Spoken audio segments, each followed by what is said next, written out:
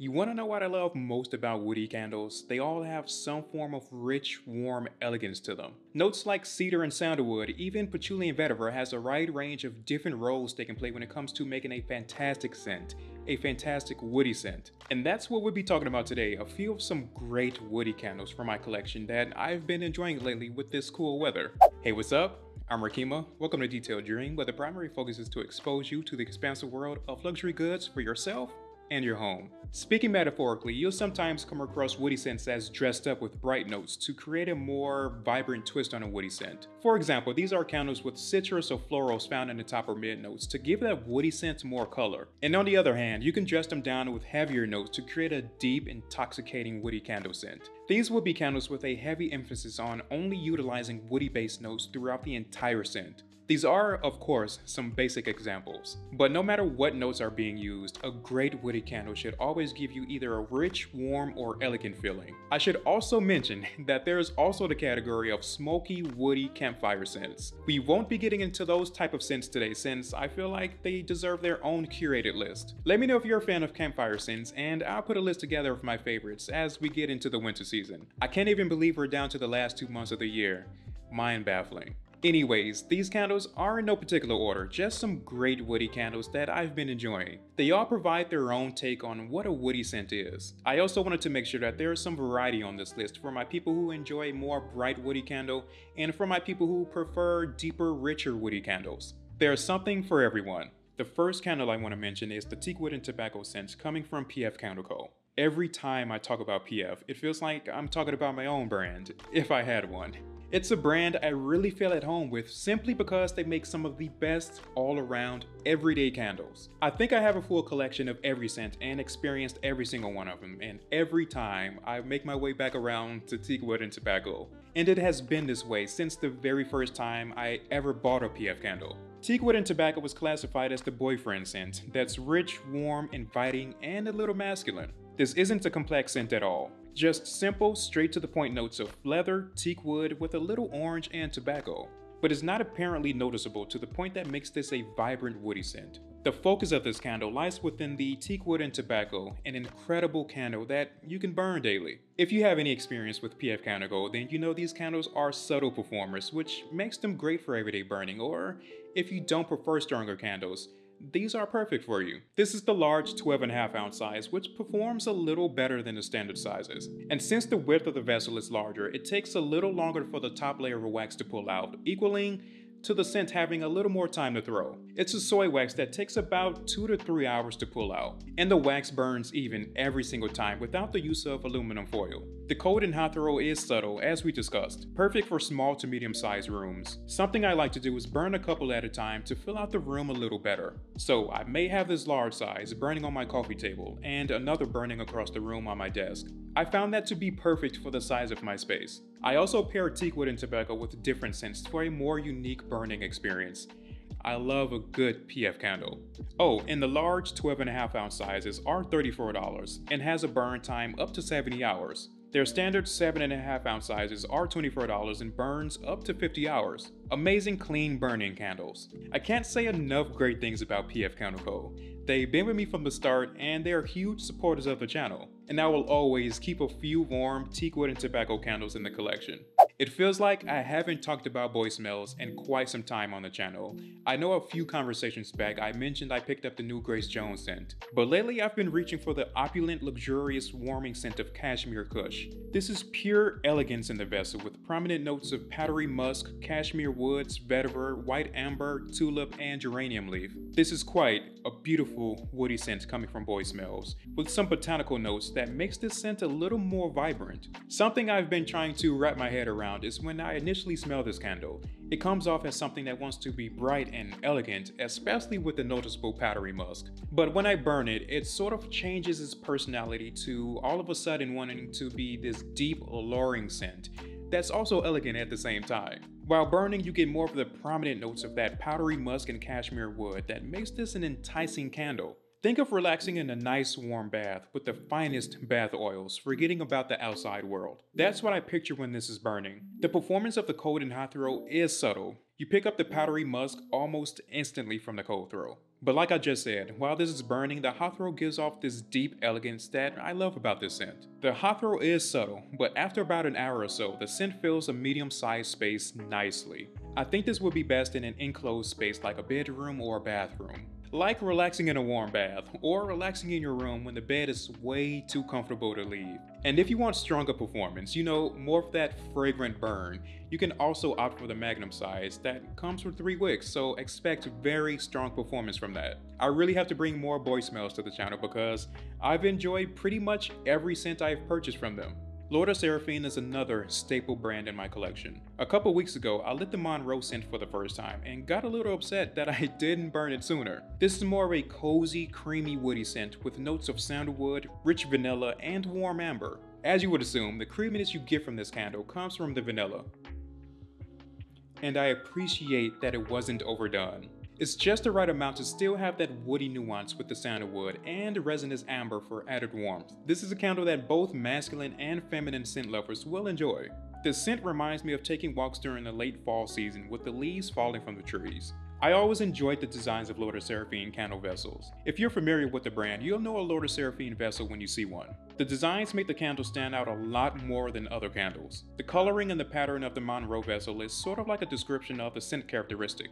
To me, it has a warm, inviting look to it that says a lot about the scent. As for performance, it's on par with other L'or de Seraphine scents I've experienced. The cold is going to be subtle with the cozy smell of sandalwood, and the hot is moderate as well that unfolds the scent into a beautiful warmth that also has depth. The sandalwood is incredible in this candle. I believe the focus of L'or Seraphine isn't to make the strongest candle, but to make candles that activates those good memories that helps you enjoy the candle more. And the vessel design is something that you wouldn't mind having out in your home as a decor piece. This is their medium 6.5 ounce size candle and has about a 45 hour burn time. And their large size is 17 ounces with a 80 hour burn time for my people who prefer stronger performance. The Monroe candle is definitely for someone who's looking for a woody scent with a cozy, creamy undertone. Still warm, and just a little creamy.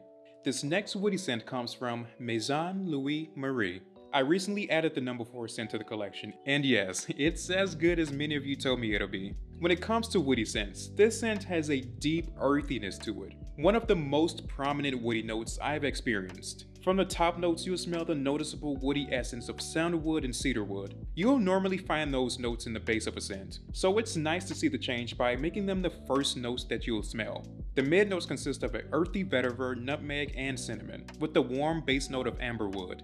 This scent definitely has depth to it with an assortment of different types of woods. I read that the cinnamon and nutmeg in this is supposed to be on the spicy side, but to be honest, I'm not picking up either of those notes or anything spicy really. I'm sure they play a role in how the scent smells, but I'm not picking up cinnamon or nutmeg. If you have this scent, let me know what you think. Are you getting anything spicy from it? Maybe it's just difficult for me to pinpoint it because the other notes are so prominent. Nonetheless, Maison Louis Marie, you developed an incredible woody scent. Think of a luxury five-star hotel. What do you picture when you think of your ideal luxury hotel room? How's the view? That's what number 4 smells like. It has that same warm, luxurious feeling to it. Now, the performance of the cold throw is subtle. When you do get a whiff of it, you pick up the dominant wood notes of cedar and sandalwood. The hot throw is, I would say, is a soft strong, let's say a 6 out of 10, depending on the room size. This will perform great in a small to medium sized space. The hot throw is when you get the full development of the scent. Just personally for me, without the cinnamon and nutmeg. It's a strong essence of luxury wood, that's the best way to describe this. I'm overall impressed by this scent and the clean, minimal brand identity. You might be seeing more Maison Louis Marie coming to the channel. This next candle is one so many of you enjoyed when I reviewed it. It's the Ebony Wood candle from the Zara and Jo Loves collab. This is still an incredible woody scent that I enjoy. And before I forget, at the time of this recording, this candle is currently on sale for only $10. Definitely worth a try if you're interested in getting into luxury candles. There's a sensuality to the ebony wood scent with notes of pink pepper, clove, and ebony wood. This is a warm, woody candle that sometimes can come off as a slightly sweet woody scent. I'm not picking up any pink pepper though. I'm not sure how big a role it plays in this, but if it's supposed to have a peppery characteristic, I'm not picking it up in this. Let me know if that's not the case if you have this scent. All I'm getting is the ebony wood and clove that makes this come off as a slightly sweet wood. Still an incredible woody scent that I love burning, which is why I'm talking about it again. As for the performance, you pick up that sweet woodiness from the cold throw. The scent doesn't throw as good as others, but at this price point, I'm not complaining. The hot throw is moderate and performs okay in a medium-sized room. For a candle under $20, I have to say, it does a pretty decent job.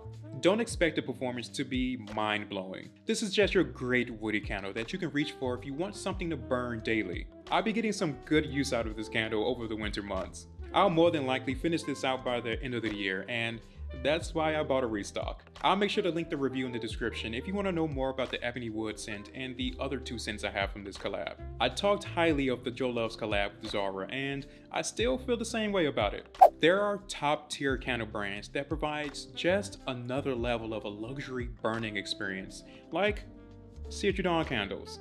Ernesto is one of the absolute best woody candles I've ever experienced. It was also one of the first Trudon candles I picked up, and years later, it still serves as one of my favorite woody scents. The scent of Ernesto, or any other Trudon candle for that matter, isn't like your traditional candles. They provide another level of sophistication to the burning experience. You can tell that there is a rich history with the candles and the brand. I mean, they started in 1643, so their heritage, it's there for sure. It doesn't make a brand top tier because they started so early, but Trudon stood the test of time for a reason. There isn't anything quite like your first Trudon, and Ernesto is a great scent to start with, it's like a Trudon staple in my opinion. From the top notes, Ernesto opens with bright bergamot, grapefruit, and delicious rum but is quickly overtaken by the heart and base notes. The heart consists of oak wood, clove, labdanum, and patchouli, with a deep, warm base of tobacco, amber, leather, and moss. Definitely a more unique scent profile. With the scent this dense, I don't really pick up those bright top citrus notes.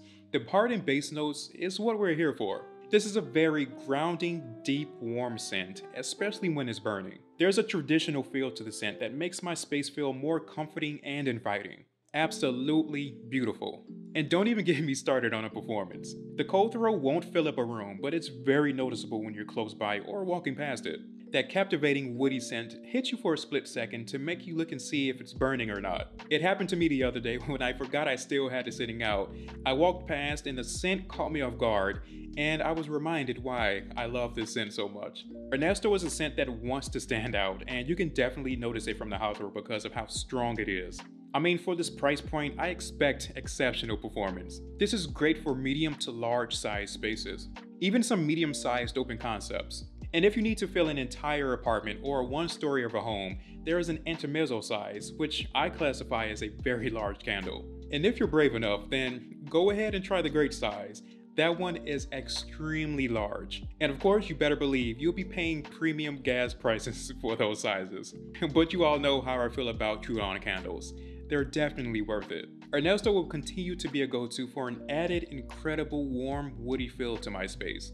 This last woody candle I want to talk about is more like an honorable mention because I just made an entire review on it and it's the Oud Wood candle from Tom Ford. Now, I mentioned that it's not worth the price in that conversation and it's still not worth the price, but I do believe that this is a great woody scent to try if you're into Tom Ford fragrances or you just want that masculine feeling for your space. Some people also aren't into niche candle scents and that's perfectly okay. A woody scent like oud wood would make an incredible option for my people who prefer not to venture off too far into the candle world. Oud wood is full of warmth, with notes of oud, of course, sandalwood, rosewood, and amber. If you're familiar with oud wood as a fragrance, this is spot on to that. If you don't have the fragrance, I would recommend going to the store to see if they have this candle on display so you can smell the cold throw. And if not, just sample the fragrance and you'll know how this candle will smell. I always recommend smelling before buying. It saves me so many times. And plus, you just get to get out and smell other things that you wouldn't have come across otherwise. And that's how I picked up this scent. I paid the Tom Ford price, unfortunately, but so many of you wanted to know more about what a Tom Ford candle can offer. With the performance on this, my stance stays the same. The cold throw, it's moderate. You will get sudden whiffs if you're close by it. And the hot is moderate to a light strong. The scent comes to life when it's burning.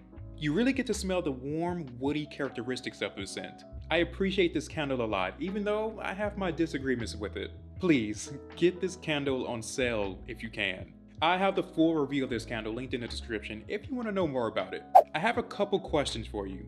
What are your thoughts on woody candles? Do you feel woody notes are the foundation to make a great scent? I'm asking because I noticed if a scent isn't fully botanical, herbaceous, gourmand, etc., it contains some form of woody note. Take a look at the scent profiles of the fragrances and candles that you have and let me know your thoughts.